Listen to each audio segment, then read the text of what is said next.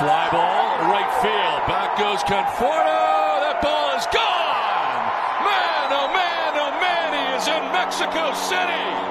It's a two-run shot. Puts Padres back on top. Manny's second round tripper of the ball game.